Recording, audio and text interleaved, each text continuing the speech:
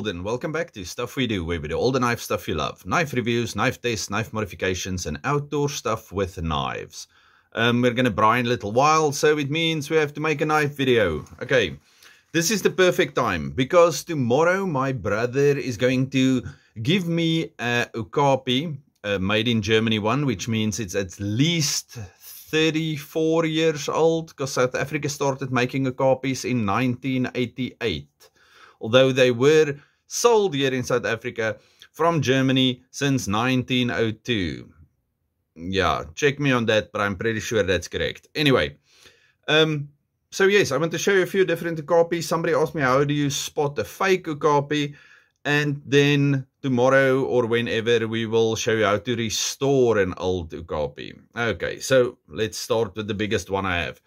This thing had a coating on it and it had a horrible handle on it. Now it still has a horrible handle on it, but it's a horrible handle I made. Anyway, um, but this is a Okapi machete. Okay, you can still buy these things from some places and I think that's 1095. Same as this one, uh, 1095 Okapi. Let's see if we can see there. Uh, superior quality Okapi made in New Germany. Okay, um, as they moved their plants, the name changed from South Africa to New Germany, and it was Germany in the beginning, which is in actual Germany. Okay, so this is like the little butcher knife. Now, I love this thing. It's got a bit of flex to it. Wonderful little thing. Okay, very inexpensive plastic handle, but it works fantastic. Um, also, you can see the patina that was building on there. Okay, then something different a Okapi folding saw, okay, which is the same as the normal ratcheting Okapis, but it's the saw. Then, okay, then let's go to this one. This is a normal made in Germany. Can you see that? Made in Germany Okapi. Beautiful. You can see it's two pieces of wood, but it's better wood than they use today. Beautiful little thing with the little bail here at the front. Wonderful. Okay, so this one, I don't know how old it is. I got this one, I think from my grandfather. So it must be very old. Now, look at the grinds on these things. It's flat. Well, actually, this one is not. It's got like a saber grind, but it looks like it's more on one side than on the other. Okay, now this was one of the very old ones, okay? But it's still in wonderful shape. Okay, then let's look at this one. This is the normal one we all know and love. The Big Sable 1907 pattern made in South Africa, Okapi. We've got a high carbon steel blade. It's only ground on the one side. It's flat on the other side. We have the moon and the stars. And then we have the ratchet over here.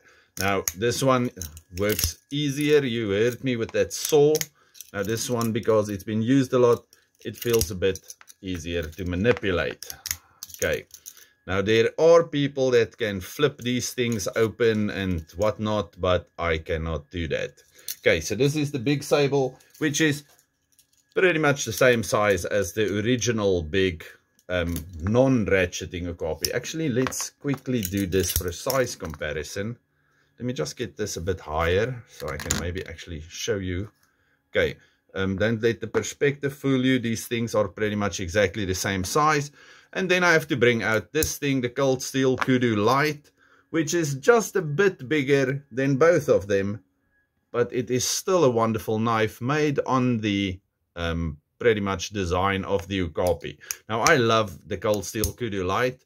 Um, generally I do not like these ratcheting ones. I know they lock and they're supposed to be safer, but if you work with a slip joint, you know you're working with a slip joint, so you will be safer anyway. Okay, so the Cold Steel Kudu, fantastic knife. I love this thing. For a braai knife, this thing is excellent. Excuse me. Um, my kids were calling and for some or other reason my neighbors started leaf blowing things now. Okay, then we have this knife. This is the big sable, but the non-ratcheting one. And this is also a made in South Africa one. Can we see that? Yes, we can. Okay, so let me just bring back the ratcheting one. Okay, so you see it's pretty much the same thing, just the one has got the ratchet and the one does not. Yeah, you see pretty much exactly the same size, same length, same everything. But like I said, nothing wrong with the ratcheting one. I just like these ones more. Okay, it's a bit more user friendly. Then we have this one. Okay, now the originals have a bail on it.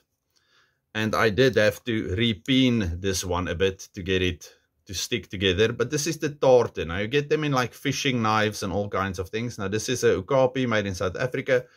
But this is like a more gentlemanly one. I really like this one. Okay. And then I made a little slip for it. So if I carry it, I carry it like that. Um, like I said, you get them with different color bolsters and things like that and whatnot. Then I have these two. The normal small flat Okapi and the biltong Okapi. But these ones were modified by Ekkies knives so I really like these ones. And I didn't take out any of the originals, but it's fine. They look like this, just not as cool. Let me just focus. Anyway, it says Okapi made in South Africa. And then you see the battle scarring on it and whatnot. Um, you can go to Ekkies Knives on Instagram, and then he's got all kinds of things. He also makes um, custom knives and modifies everything. But I really, really like these two. Okay, you see what he does to the wood and whatnot. It looks fantastic and the heavy stone washing and things. So these two are two of my favorites, my little modified Okapis. Okay. Then, this one. This is a fake. Okay. Now, I'm not sure why anybody would fake an Okapi, but it's a smaller size than any of the other ones. It's got a very crisp bevel on both sides, which you can see because most of them does not look like that. And then it's one piece of wood. Can you see that? So the fake actually looks better made than the real thing, but it's a fake. Okay, so if you have one that looks fantastic, and it looks like it's better quality, but you buy it for cheaper, then it's definitely one of these fake ones. Okay, and that's pretty much the only thing I can tell you. If you buy a Okapi and it looks really... Let me get something to compare it to.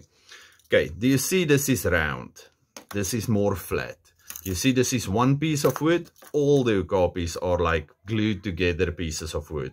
Okay, and then apart from that, let's see if there's actually any difference in the Oh yes, you can actually see a difference in the way it's been engraved. Okay, so very close, but yes.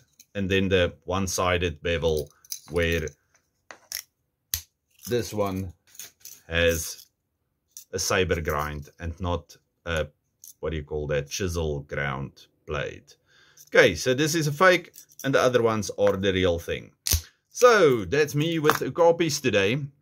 Um, tomorrow we'll restore an old one. We're just to, mm, I don't know, flush it out and maybe clean the blade a bit because um, it didn't look in such horrible shape. And then I'm going to call this one for today. So, all of you, stay safe, happy, and have a good one. I think I'll show you when I braai now. Okay, goodbye.